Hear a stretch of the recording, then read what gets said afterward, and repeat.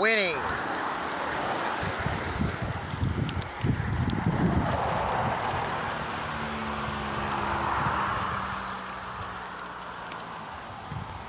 Back in 801.